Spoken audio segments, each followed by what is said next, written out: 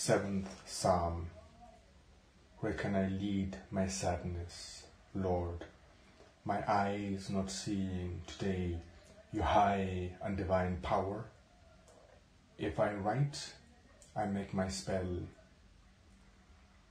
That in the burning rays of the morning lights you have your seat and you dwell.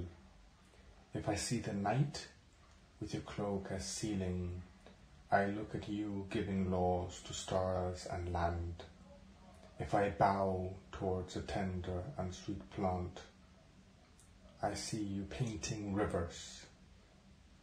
If again I look at the sinners giving free rein to themselves, they live, I live, with a naive blue love to give.